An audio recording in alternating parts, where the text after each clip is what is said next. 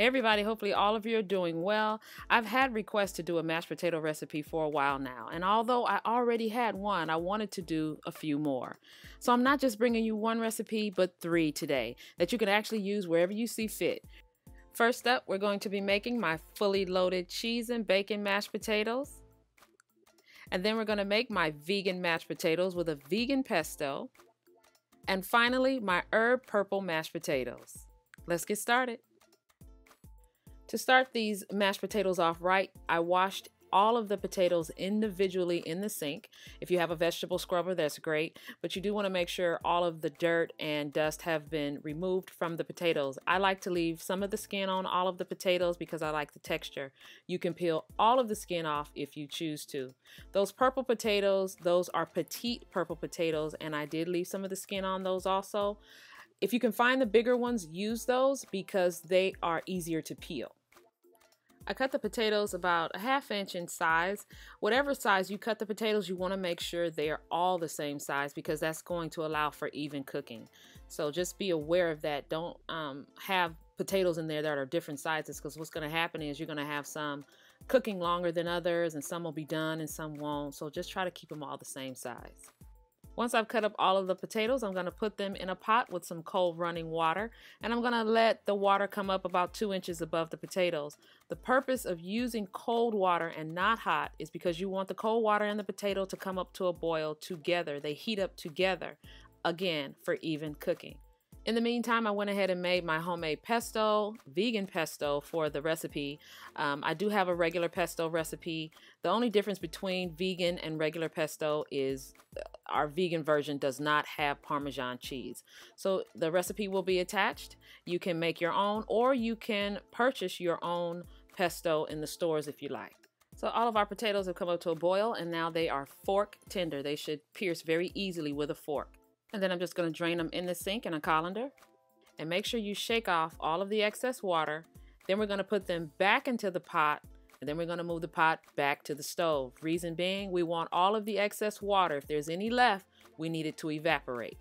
The heat from the pot should help that happen. If you notice, I do have the stove turned off. So, you know, if your potatoes are extra wet, you could turn it on low for like a minute or two just to get that water out. But the potatoes were pretty dry. If you drain them, you should be fine we're going to be using a tool that I've always wanted. I'm using a potato ricer. You can find these in the kitchen supply stores. You can find them online. I had been looking for one that was all stainless steel. Um, it breaks down into two pieces for easy cleaning. And it's called a potato ricer because when you push the potato through, it looks like rice. Um, it also mimics a garlic press, if you will. If you guys want to know what it's really like, it looks like a big garlic press. You put the potato inside and then you just move the lever down and you have very smooth potatoes come um, out of the other end. If you leave the skin on the potatoes like I did, the skin will get caught up inside and just use a spatula or a spoon to take it out. And I just put it in the bowl because once again, I like the texture of the skin. Since I'm going to be linking this particular potato ricer down below, I want you to see this screw. Um, this screw removes very easily so that the ricer breaks down in two pieces so you can clean it don't lose that because it holds the device together. So I'm just showing you that. So if that happens to you or if it comes apart, just slip it right back in. It's really easy to use. These are the golden potatoes, which are going to be our fully loaded potato mashed potato dish. And I got some melted butter. I've got um, sour cream. I've got some hot milk and I'm using hot and room temperature ingredients because I want to keep the temperature of the potatoes up. If you use cold milk, you're going to bring the temperatures of your potato down and that's kind of not what you want, okay? Because I'm going to put this product in the oven anyway, I might as well keep it hot. I also have a whole head of roasted garlic, lots of seasoning. Taste these potatoes before you add all of the other ingredients because you want to make sure your potatoes are nice and seasoned. For the exact measurements to all three of these recipes, be sure and check out gdseasoning.com. The link will be in the description below and pinned in the comments.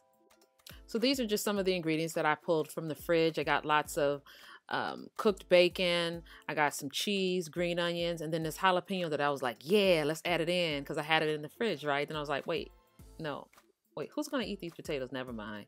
So I left them out. Be sure and add some in if you want to. I stirred in half of the ingredients into the potatoes and then I'm going to top it with the leftover cheese and bacon on top. And we're going to leave the onions off. Um, we're going to put those on when it comes out of the oven.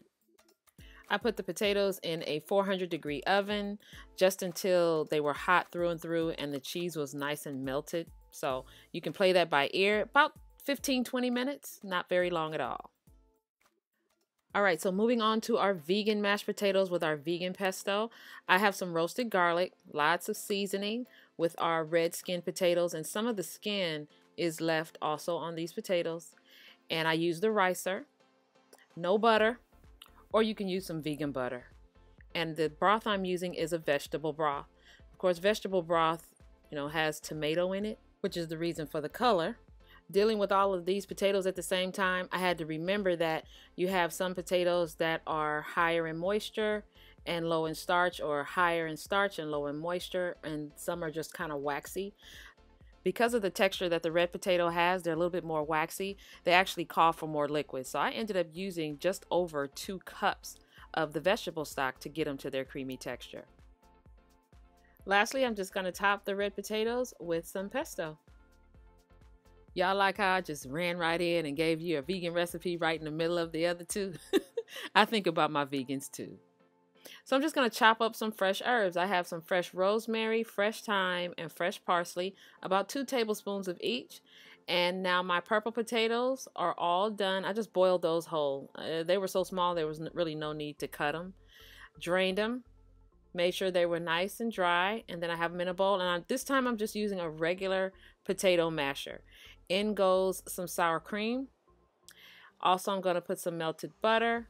And I have chicken stock and some um, hot milk uh, off to the side because I was trying to decide whether I was going to use half a cup of each. What I ended up doing was actually just adding a whole cup or a little bit more of the milk. Just eased it in and just smashed the potatoes as I went along.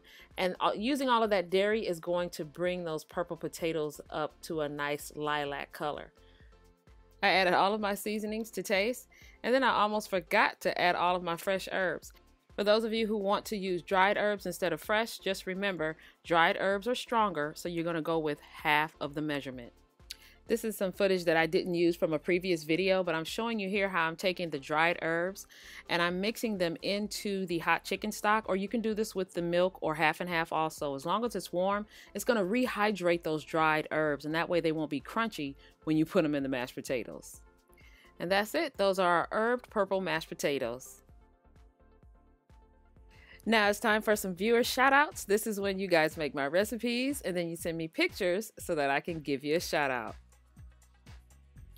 Candace Thompson made my crock pot macaroni and cheese. She sent this to me via Facebook. She did an excellent job. Brenda Reynolds and her baby girl, who's shown here, they said they love to make my chocolate cream cheese pound cake, and it's one of their favorites. Now, because I'm nosy and I want to see what you guys are cooking when you make my recipes, send me photos at Cook with Carolyn via Facebook, Instagram, or Twitter. Thank you guys so much for joining me. You know I appreciate it when you come cook with me and hang out. Don't forget this recipe and others can be found at gdseasoning.com. And I'll see you next time.